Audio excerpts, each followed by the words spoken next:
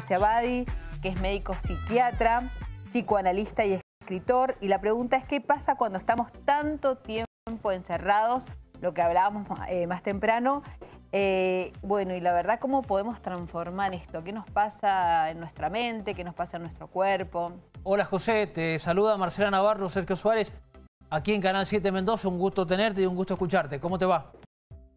¿Cómo están ustedes? Espero, gusto para mí estar con ustedes también allí, con todos los mendocinos, un verdadero gusto.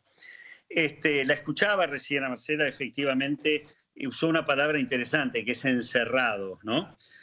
Con lo cual ella le está dando una cierta respuesta a su pregunta, por decirlo de algún modo. Empezamos en un principio eh, con el quédate en casa. Yo promoví mucho el quédate en casa y no el, aislamiento o encierro, porque estas dos palabras generan una vivencia de aprisionamiento, de castigo, de prohibición, ¿no? Y disparan muchas, muchos afectos, muchas vivencias inconscientes, muchas conductas. En cambio, el quédate en casa tiene la fuerza de una elección. Soy libre de elegir, me quedo en casa para cuidarte y cuidarme. Mm. Bueno, esto lo insistí bastante durante bastante tiempo, pero, pero, pero, ¿qué pasa? Eh, la cuarentena se convierte en algo cada vez más largo. Ya iremos por cuántos días, este, Desde el... 130 más o menos. Sí, ciento, no me acuerdo ahora, pero por lo menos 130. Mediados de marzo. claro, de cerca del 20 de, marzo, de marzo mucho. Mirá qué, qué, interesante, ni pudimos recordarnos este, eh, que, ¿cómo se llama? cuántos días van de tantos que son, ¿no? Entonces el quedate en casa se hace más difícil y se empieza a sentir cada vez más que lo que vos mencionás, el encerrados, eso que nos hace sentir aprisionados, lejos, le crea un cierto escepticismo esta postergación permanente de la apertura deseada. Entendemos la lógica por supuesto que sabemos intelectualmente las dificultades que implica abrir una cuarentena cuando el virus está circulando a la velocidad que está circulando hoy. Pero entonces nos preguntamos también si estará suficientemente bien organizado y pensado, si habrá sido de un modo o de otro, pero bueno, eso lo importante es que nos termina generando a nivel inconsciente una cierta sensación de infinitud. Esto no termina más, te diría inconscientemente mucha gente. Mm. ¿Y eso qué provoca? Provoca desde un aumento de la, de la ansiedad, un aumento de la angustia, eh, provoca la angustia y la ansiedad provocan, como ustedes muy bien saben, trastornos en el cuerpo, es decir, trastornos eh, eh, que tienen que ver con el sistema neurovegetativo, taquicardia,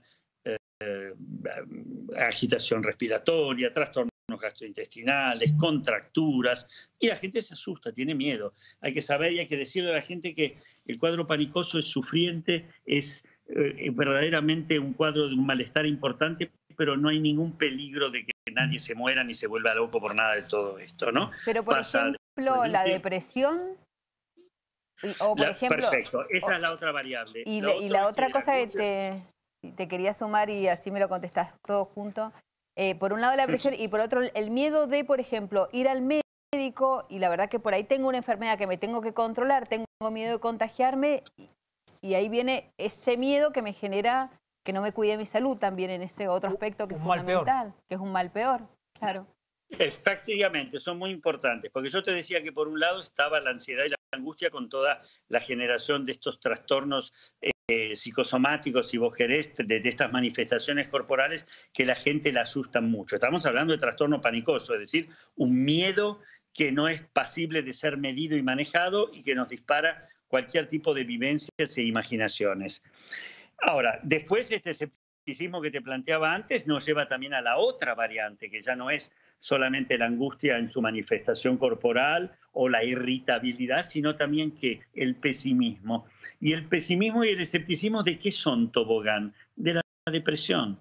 ¿Y la depresión de qué tiene que ver? Con una vivencia de pérdida, ¿saben? Es decir, pierdo, pierdo, algunos tienen la fantasía que le están expropiando parte de la propia vida, ideales que quedan como proyectos ideales, ¿no? Que quedan truncos, el miedo a no ver a los mayores, porque está la cantidad de advertencias en algunos aspectos este, muy positivas, pero que cuando se convirtieron en sobreinformación se, son negativas y aturden y asustan de más, que ya empiezan las fantasías de podré ver a mis abuelos, podré, qué pasará con aquellos que no veo hace tanto tiempo, estarán allí. Y a nivel consciente o inconsciente aparece inmediatamente la sensación múltiple de pérdidas. ¿Y esto que provoca? La pérdida de depresión.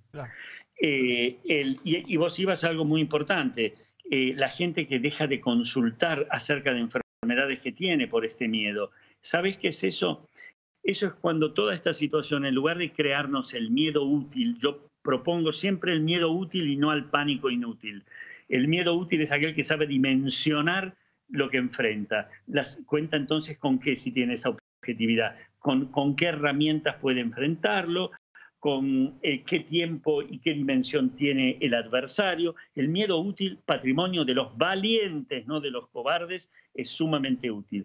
Y evita el pánico inútil, que es cuando quedas bloqueado, paralizado, cuando la dimensión de lo que ocurre ya no podés medirla, cuando no acertás en, en cómo reaccionar. Bueno, parte de ese cuadro panicoso cuando se supera el agudo del cuadro panicoso, pero queda como una tensión angustiógena sobrelevada, lleva a que mucha gente esté, por ejemplo, con trastornos cardiovasculares importantes, con un infarto potencial, y en lugar de ir a, consultar al médico, se queda por miedo a que médico, hospital, sanatorio, todo sea lo mismo que el coronavirus y se muera. Y entonces, ¿qué le pasa? Se muere de un infarto. Miren qué curioso, por miedo a la muerte se mueren. Yo di una conferencia hace poco, una, ponencia en, una, eh, el Instituto Cardiovascular de Buenos Aires, en un eh, Ateneo para un montón de cardiólogos argentinos y en Georgetown, en Washington y Londres. Y era impresionante, por, por eso tan acertada la pregunta de ustedes. ¿Saben cuánto disminuyó en mayo y en abril, mayo las consultas por infarto? ¿Cuánto? 60%. ¿Sabe lo que pensaron los cardiólogos? Mm. Sí, pensaron que el coronavirus terminó con el infarto. Uh, curiosamente, una de las enfermedades que más muerte provoca, mucho más que el coronavirus. Eh, ¿Qué descubrieron después? ¿Saben cuántas cuánto porcentaje de muertes había aumentado el infarto? 40% más que de costumbre. Consultó un 60% menos, murió un 40% más. Miren ustedes, y esto háganlo extensivo a distintas situaciones médicas. Muy importante, vayan al médico, consulten, tomen todos los protocolos necesarios, pero no conviertan al que brinda la curación en aquel agente de la de la, del contagio. José, eh, te pregunto también por los chicos de la casa, eh, si yo veo a alguien de mi familia que está con esto que decís vos, ansiedad, angustia, no querer salir, no querer hacer tal cosa. ¿Cómo lo podemos manejar? Los padres con los hijos y en realidad también con nuestros padres eh, cuando esta situación se da en el seno de la familia. Excelente pregunta. Eh, ¿Qué le decimos a los chicos? Me preguntan muchas veces. Una de las cosas importantes para no angustiarlos, porque seamos honestos, después de 30, 35, 40 días de una situación de cuarentena, la salud mental, el psiquismo se ve afectado no es verdad que no pasa nada, se ve afectado y en la cantidad de días de ahora ni se imaginan. Trastornos, como les decía, de todos estos que hablábamos, más fobias, inhibiciones, trastornos del sueño, insomnios, pesadillas. Los chicos que sienten, ya siendo chicos, inhibiciones, una cierta sensación de desconcierto porque no ven los amigos, la ausencia de aquellos referentes adultos que le enseñaban o lo educaban, eh, pero que también respiran, la angustia de los padres. Entonces los padres para hablar con los hijos elaboren parte de esa angustia que inevitablemente también a ellos los afecta para que la narrativa que utilicen, es decir, la forma que le cuentan, esté de acuerdo a la edad del chico y puedan explicarles que hay una enfermedad ahora que contagia a mucha gente, pero papá, pero se muere mucha gente. No, mucha gente no se muere, pero contagia mucha, si no se cuidan pueden llegar a pasarles algo de, como, como la muerte en algunos pocos, pero nosotros nos quedamos en casa porque de este modo, ¿sabes qué pasa? El virus está lejos. Y así estamos nosotros durante un tiempo cuidándonos porque los médicos y la gente de la ciencia, como muchas veces antes en la vida, en la medicina y en la, en la historia, esto lo va a curar. Esto es distinto que darle una información burocrática, quedémonos, no salga que se va a morir cualquiera, te puede morir vos, te contagiar. Le transmite su propia angustia al chico. Eso no es una reacción madura de los padres, sino una reacción infantil angustiada, pobres. Los comprendemos, pero hay que elaborar la propia angustia si queremos no transmitirla. Por eso la sobreinformación es tan delicada. Si se pasan 24 horas del día, siete veces por semana, todo el tiempo diciendo muerte, muerte, muerte, muerte, muerte, contagio, contagio, contagio, contagio, cuidado, cuidado. Este, eh, la posibilidad de usar como las ventanas que todavía quedan libres dentro de esa interioridad para imaginar, pensar distinto, pensarse a sí mismo, practicar el ocio, se ven totalmente este, selladas, no, no, no pueden actuar, ¿no? Aparte de que yo, a, veces pienso que vi más médicos en la televisión estos tres meses que en los seis años de mi carrera de medicina. Hmm. ¿Cómo se llama? Es verdad, es este, verdad. Eh, ¿Y eso sirve para algo, acaso? Den la información adecuada en cantidad y calidad adecuada, lo otro, ni desnutrición ni empacho, gente, las dos cosas hacen mal. Y, yo creo que eso con los chicos es fundamental, porque cómo están eh, de algún modo cargados los adultos con esto tendrá que ver con cómo se dirigen a ellos. Y aclararles que esto es transitorio, que, que esto se está solucionando, buscar de posibilidades de juegos, de entretenerlos, de que las salidas recreativas están permitidas en nuestra capital y en, bueno, que sí, que salgan, sacarles la teoría, por eso empecé con la idea del pánico, la versión panicosa del asunto. Miedo útil, eh, no pánico inútil. Igual que a la gente mayor. La otra vez una señora me pregunta la salida del supermercado, me dice, doctor, sí, dígame señora, pensé que la conocía. dice, no, no, no me conoce, lo vi por la tele la otra vez. Ah, sí, le digo, ¿cuándo se termina esto? Eh, eh, ¿Qué pregunta? Pensé, le digo, y entendí, le digo, mire, no tengo la fecha exacta, señora, pero eh, no le quepa la menor duda que en un tiempo más esto se, solucionó. Ahí no solamente va a poder salir mejor, va a haber alternativas de tratamiento, en el año que viene tenemos la vacuna. ¿Saben qué me respondió? ¿Qué cosa? Fue muy conmovedor me miró, yo dije, qué mirada que me mandó, y me dice, doctor, dice, sí, le digo, tengo 78 años. Eh, yo no quise decirle solamente siete más que yo, sino que le dije, este, sí, y a los 78 años unos meses, ¿sabe qué? Va a salir y va a disfrutar de la vida. Porque ¿qué sentía esta mujer? Que le estaban expropiando el tiempo que le quedaba. Entonces, ¿qué le pasa a los mayores? se sienten, no solamente como la idea de marginados, el sector riesgo, sector peligro, sino también el miedo a que este encierro despierte una soledad que evoca la angustia de muerte.